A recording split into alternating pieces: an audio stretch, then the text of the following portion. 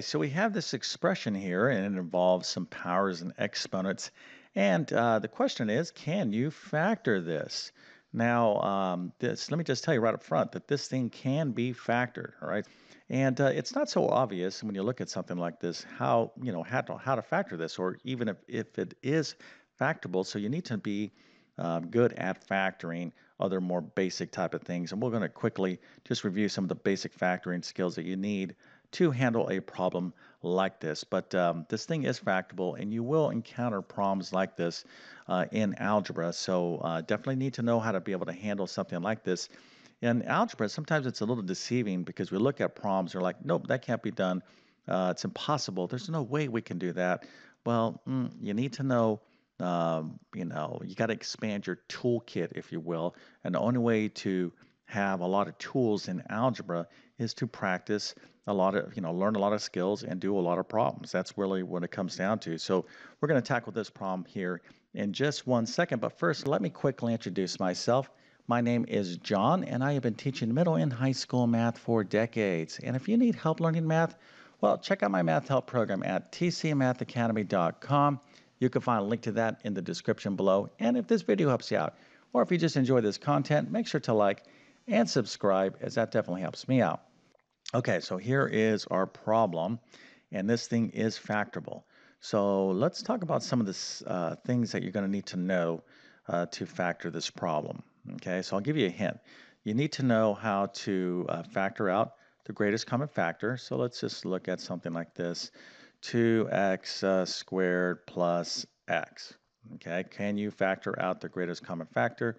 Hopefully, um, all of you out there are like, oh, it's x. That would be 2x plus 1. So x here is our greatest common factor. So anytime we're dealing with factoring, always, always, always look uh, for the greatest common factor. Okay, so that's uh, one hint. Okay, you'll need to be doing that. And then you need to know something about powers, uh, in terms of the parts of powers and properties of powers. So powers involve uh, a base and an exponent, okay? So for example, let's say I have um, uh, 3 squared, okay? If I'm multiplying 3 squared times uh, 3, let me uh, erase that, 3 cubed. Now, you can, of course, go into your calculator, 3 squared is 9, uh, 3 cubed is 27. That's not what I'm talking about. Here, if the bases are the same, what do we do with the exponents here? Okay, hopefully most of you know, oh, okay, if this is multiplication of powers, we're going to, and the bases are the same, we're going to add the exponents. That's 2 plus 3. Uh, I could do another example. Let's say y to the 7th times uh, y squared is equal to y to the 7 plus 2 or y to the ninth. So you need to know about powers and all the properties of powers. This is only one um, of the properties. So if you're not familiar with uh, the properties of exponents and whatnot, I have many videos on this in my algebra playlist on my channel. Uh, then, of course, you need to uh, understand uh, the GCF, which I have many videos on the GCF as well. So if you understand this stuff right here, if you're like, okay, okay, I got this, I got this, you're like, come on, let's get to the problem.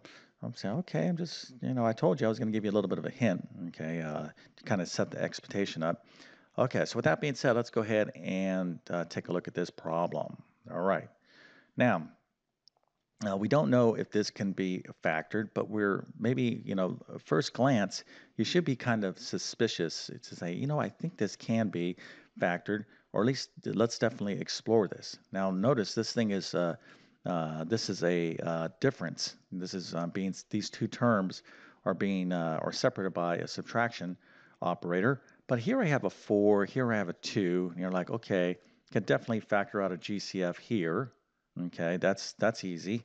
All right, but I have a C and I have another C here. So I have the same base, but the exponents are different. So this is this is the part that's probably going to confuse uh, students initially, but we need to be able to break this down because this is a problem that, you know, it's not a super common problem, but it's definitely something that you need to know how to work with in algebra. So let's take a look at each of these terms. Let's take a look at first at the uh, 4 times c to the n plus 1 power. And let's break this down into kind of its uh, uh, prime factors, kind of its components fact, component factors here. So we'll look at this second. So uh, 4 obviously is 2 times 2, okay? So I could write that as 2 times 2. And then here I have c to the n plus 1. So we'll write that as c to the n plus 1. But this is the part right here, what I'm going to show you next, that is the key to unlocking this problem. So this c to the n plus 1, you can actually write this this way, okay? That's c to the n times c to the first. All right, so let's just look at this here. c to the n times c to the first. The bases are the same, okay? Remember, if the bases are the same, we add the exponents, so that's going to be c to the n plus 1. So this was this this is really kind of I think the secret here, and it's not you know so intuitive to kind of see that, but if you did see that, then that's excellent. All right, so c to the n plus 1, I could break this down as c to the n times c to the 1. Because again, c to the n times c to the 1 is c to the n plus 1. So now this thing is completely factored, okay? Now, let's just stop right here. Uh, don't look at this stuff yet, okay? Now, let's do the same thing to this other expression, uh, 2 times c to the n. So that's just 2 times c to the n, or 2 times c to the n. We can kind of pull it out this way.